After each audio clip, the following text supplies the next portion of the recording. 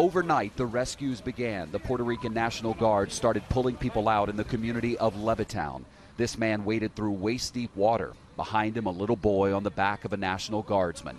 The governor was waiting for them as they were pulled to safety. As Maria moves away from Puerto Rico, the destruction is starting to come into focus. Down trees and power lines are making roads impassable. Windows have been blown out of buildings and appliances ripped from walls. On the island of Dominica, the storm killed at least seven people and left a path of destruction.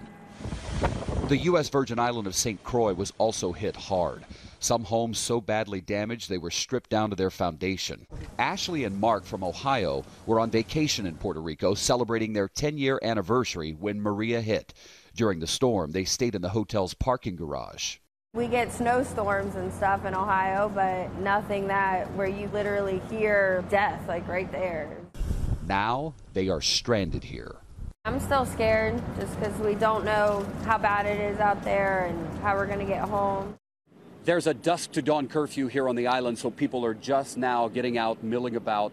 And really, we've noticed a lot of people coming to this Starbucks because this is the only way that a lot of people have to reach their relatives off the island, let's say on the mainland, to let them know that they're okay. Wi Fi connection is one of the only lifelines people here have right now. David Begnaud, CBS News, San Juan, Puerto Rico.